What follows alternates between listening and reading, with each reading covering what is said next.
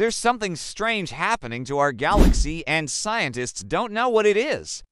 For decades, they've known that something is pulling on the Milky Way and other galaxies in our cosmic neighborhood, but they don't know what it is or where it's coming from. All they know is that it's located in a region of space called the Zone of Avoidance, which is so dense that it makes it difficult for light to travel through, making it invisible to most of our telescopes.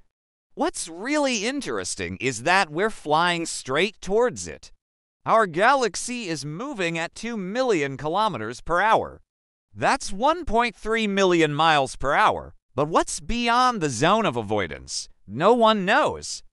There's speculation that it could be a massive supercluster of galaxies, something like 40 times the mass of our Milky Way. And if that's true, it would explain why so many galaxies are being pulled towards it, including ours. But until we get there, the mystery of the Great Attractor will remain.